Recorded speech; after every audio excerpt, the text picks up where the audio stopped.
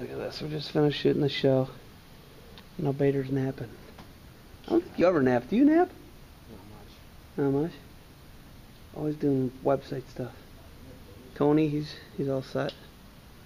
And then Snake's dog back there. Are you mining? No, just taking a taking a video, bro. Flip?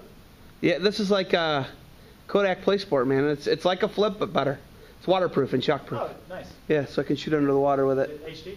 It is shoots 1080. Fantastic. It's actually this is uh, one of the videos of the Martin and uh, him and wrestling at Zoker.